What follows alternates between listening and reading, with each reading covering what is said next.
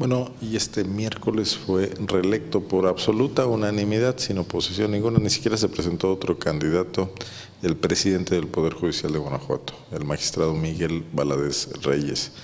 Después del eh, protocolario eh, evento de votación, el magistrado dio a conocer que el número de jueces que se preparan para atender los asuntos en la región León bajo el nuevo sistema acusatorio este sistema oral ya se incrementaron para evitar que eh, el déficit de impartidores vaya a afectar eh, la calidad de la justicia que se ofrecerá en León, Guanajuato, quizás, y municipios aledaños, la zona más densamente poblada de las de las eh, cinco, cuatro regiones, perdón, en las que se dividió el Estado para ir llevando una pauta.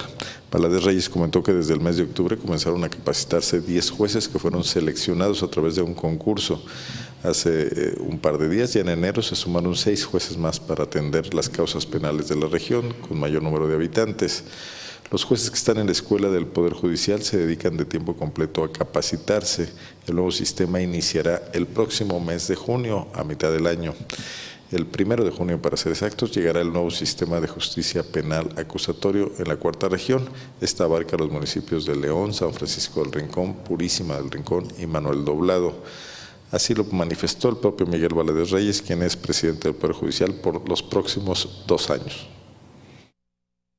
En este momento están allí en la escuela los 10 primeros jueces que se seleccionaron a través de un, concurso muy riguroso, que están capacitándose ya desde octubre de cuerpo entero, porque ellos fueron separados de sus cargos y están todo el día, de 9 de la mañana hasta las 7 de la noche, recibiendo capacitación. No se separan, aquí mismo toman alimentos, etcétera. Y le digo que es buena pregunta, porque el Consejo determinó que para tener holgura y para tener una reserva humana, entren, entraron a partir del día de antier seis jueces más. De manera que estamos en este momento capacitando 16 jueces de oralidad.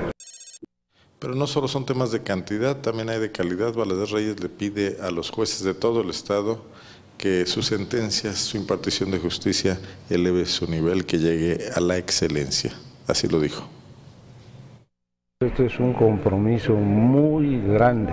No se trata de seguir con una rutina, no se trata solo de una inercia, se trata de seguir implementando lo que legalmente debemos y seguir hacia arriba con una eh, impartición de justicia cada vez mejor, con jueces más calificados, más capacitados y desde luego con nuestros principios inconmovibles, la probidad absoluta, que esto es un imperativo que deben observar todos nuestros jueces.